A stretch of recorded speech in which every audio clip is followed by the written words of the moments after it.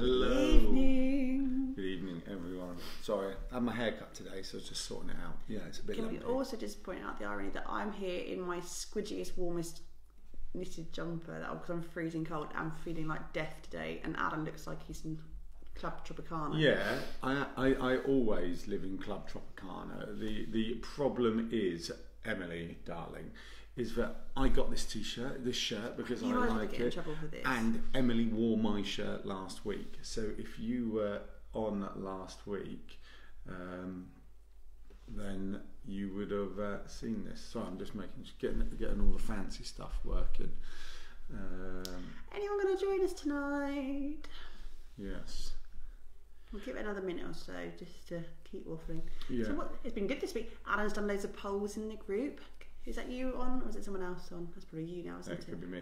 Uh, yeah, we did. Well, interestingly, it turns out that having a traditional style marquee, and there's actually variants of a traditional marquee, um, but a traditional style marquee in a farmer's field seems to be the most popular option. Now, I'm going to be honest. I wouldn't have chosen that. If someone said to me, "What do you think is the most common?" I wouldn't have chosen that. What are you chosen? I think I would have gone a clear span frame marquee, and that's not because I have a past in them. In a, I think I would have gone like back garden, like green See, space. I would have gone woodland teepee all the way. Yeah, it's a, it's a tricky one. Oh, we do have a watcher. Hello. Hello, Donna. No, Donna. so, uh, Get off! no, don't. Don't be so rude. She's so rude. Sorry for her. No, we've got a couple now. So, yeah, no, I would not have guessed that. And you would have gone Woodland TP. T- well, T- in all fairness, TPs were only one step behind. So they're not exactly uh, unpopular. But, um, yeah, I, I just don't know. I wouldn't have called that. But then I think when you look at the rustic nature of an outside wedding, then you can see why the traditional um, marquee is popular, and you can see why a farmer's field is popular. And and I, I do love the kind of variety that you know a farmer's field. I appreciate it's a field, but it literally is how long is a piece of string. You know, um, it could be anything. So, Right, what I think, we, we'll start with this question here. We've, Yeah. we've, had, we've had a few questions through various um, methods this week, either by email or on the group, which I've written down. Um, I know for a fact that this lady here isn't going to be on live tonight because she's otherwise engaged. I mean, how rude is that? I know, I know. Wednesday nights at 8 pm, you should all be on by now because you know it's Surely, right? Like it's EastEnders. I think EastEnders is on Or at Coronation eight. Street on a Or Wednesday. Coronation Street on a Wednesday, or us. Surely it's us at eight. The uh, the Alan and Emily Ask an Expert outside bride show. top of your priorities every Top week. of your priorities. Anyway, so Sylvie, who's not on tonight, Sylvie emailed this question through and was asking about seating for the drinks reception slash um, after you know, sort of nibbles and canapes and stuff after the, the ceremony, and it's about an hour and a half to two hours worth of um, of mingling, and she was asking whether she should be providing any kind of seating for that. Um, whether she should provide benches or chairs or to leave them to it to mingle. Um, which was a really good question. Um, I had a couple of thoughts on it and I've written a few thoughts down. Um, number one, yes, without a doubt, yes. Think of your guests. Um, an hour and a half to two hours um, can be quite a long time, especially if you've got guests in heels um, who might want to have a little bit of a perch. Well, I uh, yeah, I think I can't think. I you know what I always think about. Mm. I think about like being at a nightclub when I was young and fun. You're never Um, to have fun. I, you know, I'd, I'd still want to go and sit down Yeah. then and let you know. So um, Um, you also might may have elderly guests. Elderly guests will need to have that little bit of reassurance that if they do need to have a sit down, they might have some space. And I would put as a character that make sure that it's actual chairs or benches rather than things like hay bales for your elderly guests. Um, hay bales are quite low, and uh, anyone who's got any mobility problems may have an issue getting up and down off off the ground. Similarly with picnic blankets on the floor. So do put some benches in. You don't need to put loads in. Not everyone in your party is going to want to sit down, and you will find that no one sat down all at one time. Um, so you might want to just put a few dotted around in the area. Um, don't just rely on things like hay bales, uh, apart from obviously the, the obvious with the terms of, of height. But if you are having an outside um, drinks reception and the heavens come down, you will probably not be using your hay bales because if you're hiring them um, rather than buying them, any um, hirer won't take them back if they're wet. So the chances are you might not even be able to use your hay, ba- hay bales on the day. And if that is the case, and you are um, you're not going to be able to use them, suddenly you have a lot of guests who don't have any seating options. So just bear that in mind. Similarly with um, expecting people to just sit on the grass, because in in in in perfect scenarios, people might just sit on, on the floor and have a drink and have a chat. But if it's been raining the week before, it might be sunniest day ever on, on your actual wedding day. But if it's been raining the week before, the ground might still be quite wet and soggy, and people aren't going to sit their bums on bare grass. Yeah, I, I think there's there's lots of options. You know, whether it's a bench, a wooden folding chair. You know, if you want some lime wash Chiavaris for argument's sake, then get some in. Um, I I think even plastic patio chairs have their place. You know, in, in the right kind of um, yeah. And any any kind of hiring of, of chairs really aren't that expensive, especially if, if you're not having any kind of formal sit down, but you need to hire chairs. I think starting price can be around two pound fifty, three pound a chair. So and, and lower. and low, Yeah, but yeah, depending on what you want. So Yeah. if you're only going to have a handful of chairs, it's worth that little investment just to make sure that some of your guests do have that option to sit down if they need to. Um, similarly, um, someone else this week was talking about what to do about their hand fasting ceremony and letting um, guests know about their what to wear on their feet. Definitely put down that they need to bring flip flops or flat shoes, or if they're not going to do that, because you will always get one lovely lady coming along with her best stilettos ever. Um, invest in just some like little sti- heel heel um, type things. Yeah, I saw ones that you can get. I can't remember who. Let's have a quick look who asked that. They're called it- Clean Heels, or they're called. There's a few different. Danielle, uh, uh, so Kaz Farmer was asking um, tips for those who've never been to an outdoor um, wedding, um, suggestions for the female guests, and yeah, they're cleanheels.co.uk Clean Heels, that was seems yeah. to be their main and, supplier. and you, I've been to a wedding. I was managing a wedding once, and they literally had just a bowl of them on on the side. I mean, don't get too many as well because they they are quite expensive and they will just disappear otherwise. Um, but if you have a have a select few, just in case someone goes, oh my goodness, I'm sinking in the mud. Sinking in the mud with six inch heels is. Or six I went down the. Uh, in, I think um, someone else mentioned as well. Embrace it. You've just said this, Mm. and you know, chuck your wellies in, chuck your flip flops in, and um, make make most. of it. If you think about that kind of Hyde Park festival chic, where hunter wellies, it's kind of Yeah. cool anyway Um, nowadays. but- so. if you know that's going to be bad weather in the week before and um, it's all on the grass, maybe look at investing in some coir matting. Do walkways to places, Yeah, yeah. and that will help people's shoes as well if they are being um, not as clever with their foot choices. Um, I've we, we've we've often hired out um, Persian rug aisles. Like if you're going for a bit of a boho kind of theme, we've got rugs to hire. We put them down so people can actually walk on a a better surface. You can speak to your marquee or TP provider. I'm sure they have extra rolls of. They have it in narrower lengths Coir of coir, where you can roll out sort of walkways to, to the key places to save your heels. Definitely, definitely. Definitely, definitely, definitely talk to your to, talk to your tent provider. cool. Um, right. Um, Thank you to Sylvie to Sylvie, yeah. question. Uh, the second one on my list is a quick one. Um, where this is from Kaylee, and Kaylee says, "Where could you source uh, lanterns and paper pom poms, pom pom pom pom poms, pom poms cost effectively?" Now, I've used paper lanterns and stuff loads over the years, loads and loads of different events, both, indoors and outdoors, and ultimately, I've used expensive ones, I've used cheap ones. They make no difference at all. Basically, they, they are. They, Hong Kong specials then. I would go to Amazon. I'll be brief. I'll, I'll go to Amazon. I wouldn't even look at all the special ones. And I, I apologise if there's any suppliers on here going, no, don't say. I would go to Amazon. Um, you get the biggest range of colours. You get the cheapest delivery because most of the time if you're on Amazon Prime, you get cheap delivery or free delivery.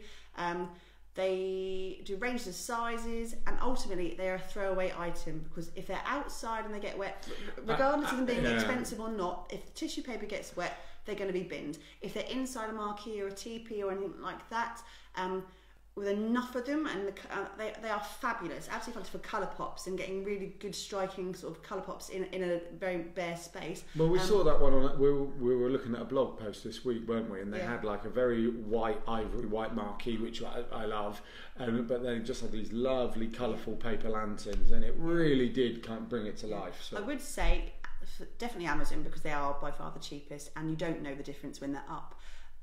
Don't go down the road of trying to make them. And I know some DIY brides and screaming, oh, yeah, I'm going to have a whole wedding party of my bridesmaids and we're going to make them from scratch. Hey, if people want to, they can. They In can. the time, money, health triangle, no, no, no. Yeah, yeah. But if you want to, then you want to. It takes hours to fold. I know, I know unit. plenty No. of uh, significant males at weddings who It have costs wanted. 90 p a piece. No, no, I get that, I get that, but sometimes people just want to make them. Don't, Yeah. don't say you can't. Okay. If you want to make it, to you make make it. However, they're dirt cheap. You know. Um, but the only only thing I would say on paper lanterns and stuff as well is you can get various sizes. They start at about six inches and then they go through to the, the bigger balls, like the 50 centimetre ones. I would say get a selection of sizes. Don't just stick to the smaller ones because if you have a large space, you're going for a clear span mark, anything like that, they'll get lost and you'll need a lot more to cover the space. Really invest in the larger ones because they will give you the big striking colour, you'll be able to fill the space more and they won't look as randomly dotted as if you have a collection of bigger or or go with some bigger ones and some smaller ones together and make little clusters of them as you go along because they will be awesome. Yeah, I, I was just thinking about this. I mean, the amount of people over the years who have had them at their wedding and then said to us, "Would you like these?" And Emily's a hoarder; she always says yes. And we've just got these piles of paper lanterns. Anyone ever wants to hire someone? Well, we don't have that many. No, we don't have that. I- uh, They, they may get moved on every now and then. blues. Don't tell Emily. I don't think you have. I think you think you have. I don't think you have. Aqua blue. I've got They're not there. They're not there. They are. I know They're not. exactly where they are. they're not there. We have a container full of our extra hire items, and um, it's ever growing. If I suddenly disappear, that's because my chair's broken and um, I'm worried that I may hit the deck. That's why I was just looking over my shoulder. So, um, yes. Yes, on. No. Right, okay, and then the last thing um, we have Sarah, Sarah Henshaw, who's new to the group. Nice to meet you, Sarah. Hope you're enjoying the group and you're finding it of use. Um, Sarah had the best question of the week, and it was convincing parents about the amount of work in an outdoor wedding and whether it's a good idea, and the onslaught afterwards with the mass clear up. How to convince them without saying it's our wedding. We want Yeah, yeah. She said, I'm saving the It's Our Wedding line for another Now, day. I will say one thing. Bring it yeah, up, yeah, hold the big guns Hold back. fire, especially Hold if you've got any length of engagement coming up. Learn to bite your tongue and learn. I'm not the best example of that, um, but learn to. Mm. um, learn to bite your tongue a little bit and know that uh, for pa- parents ultimately want to have the best day for you, and they've been thinking of your wedding day probably since you were born, and they have an image in their head. And when it's something different to what they've thought about, sometimes they find it difficult to articulate their feelings um, in the nicest possible way. No, no, Um, I don't but- think. I think but- just when passions but- get involved And I, things yeah, like that. I actually had this people are, conversation. you know. I was talking to Kay. We did a, a baby to speak with um, a caterer, and um, we were talking about street food and how the shift from um, traditional three course meals to street food vans and food carts and stuff have changed, and how some parents may or may not think that's not acceptable. You know, they, they struggle with the idea of not having a sit down meal, and ultimately it is your wedding, and um, you, you do what you want. Um, but it's all about guiding them through the journey of how is it going to be amazing and ultimately you're having a massive party with your friends and family and it's going to be the best day ever for you so just give them some reassurance and I've made myself a little list here of things to do and I think a few people on the group this week have actually put their points as well which covers We'll, of we'll try things. and name check the ones who have suggested have- this have as well. Yeah. Um, so firstly, any wedding, be it an outdoor wedding, stately home wedding, barn wedding, church hall, doesn't really matter. They all come with challenges and they all have an element of hard work. Um, an outdoor wedding, yes, you have a lot to source and a lot to clear down, but Alan's got a great example of your brother's wedding, haven't you? So, do you want to say that story? Um, yes, I wasn't actually listening then. I was reading something else. Um, yeah, basically, the wedding stopped at whatever time it was meant to stop, 8 p.m. And we then everyone there had to tidy up, and um, so which was kind of okay. It was still felt fun. Um, ignore the fact that it was in another country, and I think the ones who weren't from that country were building up for a long night, and the ones in that country they're used to going to bed early. So at eight o'clock, it was like lights on. We need to hand the hall back at ten o'clock. So we yeah we all pitched in and we all tidied up and we all swept up and everything else. And basically, So any wedding like that, you know, be it in a marquee or in a hall has its challenges, and you just have to ride that sort of that train. Um, but I think Sarah's having it in a in one of their fields, their own fields. I think I got that from their post. What I would say is um, you have a whole week before your wedding, and if it is your land, then you're very lucky sometimes. If you're not um, hiring on your own land and you're hiring somewhere else, it's worth speaking to your your venue provider about how long you have your hire for because you can um, really relax your week by, and I think Kerry also put this, by staggering in your suppliers coming in. So making sure that the Friday or the Thursday, you're not having every single caterer and bar staff um, and marquee and tent provider, if you're having glamping and all that, all coming onto site at once to set up the stuff for the next day. You don't need to have that hassle. Stagger it throughout the week. So have your marquee maybe coming on Tuesday or Wednesday or Wednesday or Thursday. Um, your anyone any infrastructure that needs to be there for, for the Saturday start, make sure that's just stagger it along sort of Wednesday, Thursday, Friday, just to give yourself a bit more um, relaxed time. Um, on that, I would say also use your suppliers to your advantage. Now, I think Kerry also put this. Um, if you're if you're hiring a tent, like a, a marquee or a structure, chances are that's TP. yeah, Yeah. if it's a t- a, any reputable TP company, they will be providing everything on the inside as well. So your, your tables and chairs, your lighting, anything in that in that kind of rig. They put their fairy lights up and stuff for you as well. That is their responsibility. That's not your responsibility. So if they're bringing it in, they're going to be bringing it out again. So that's not for you to clean up. You don't have, well, you may have to stack some chairs, you might have to um, break down some tables, but you don't have to to have to clear that off site. Similarly, if you are booking a caterer um, and checking your terms and conditions with that caterer to see if they if that's something they offer, caterers, bless their hearts, often end up being the event manager for the day as well if you're not having a, wedding planner or an event manager on the day um, they'll come in they'll do your food service there'll be your waiting staff they'll often clear plates they'll often clear glassware as you're going they might buddy up as your bar staff later on in the evening if you need extra staff. Um, so they're going to be taking things like your crockery if that's part of your your package crockery and plates and all that all, all that kind of stuff will be taken away from you. You're not going to have to deal with that. Um, if you're going to be doing table centres, um, think about potentially giving those off as gifts to people to take home with them, so you're not going to be left with fifty thousand big sort of you know flowers or pedestals and stuff to deal with. Give them, re-gift them to other people, so you're not going to have to deal with that at the end. Um, I've put another one saying invest in staff for the day. Now you don't have to, and obviously uh, if you're doing your own wedding, you want to keep it personal, fantastic I would say investing in staff, be it through your caterer, be it through your bar, if you're having an external bar, or a wedding planner, or an event coordinator. Event coordinators can start from a, probably around 400 plus up to thousands, depending on how good that coordinator is and what they do. For the day, it gives you that peace of mind not to worry about things. But if you're not having any of that, look at getting some external, a couple of people, maybe we, we've had weddings, we've gone to like local scout groups, I mean like um, explorer scouts, or I'm just Well, waiting for my chance to speak. To I have you. lots to talk about. Oh yeah, so have And I I. made a list. Keep Um, and students and all those kind of things, get a couple of them in because they might want the extra money just to come and do a little bit of weekend work and they can do the things like clearing b- bottles and stuff throughout the evening. Go, Alan, go. No, I totally agree with everything Andy said. I think that fundamentally, don't, um, I don't want to be the bearer of bad news, but it will be hard work. Yeah. Um, so you know, making. Sh- I remember a wedding where the next. Sorry, I got a notification where on the on the Sunday clear down there was an entire like van load of glass that needed to go to. Um, the recycling centre, and that was the downside of a free open bar because all of a sudden that needed tidying up. So don't underestimate those little things. I mean, I know um, Yvonne Beck mentioned on the post about have a clear down party, so invite everyone over for breakfast on Sunday morning. Go, would you mind? Um, I think really it really is going to depend on how much work you and your family are happy to do, how much you want to do or don't want to do, and how much budget you have available to perhaps pay for people to do it for you.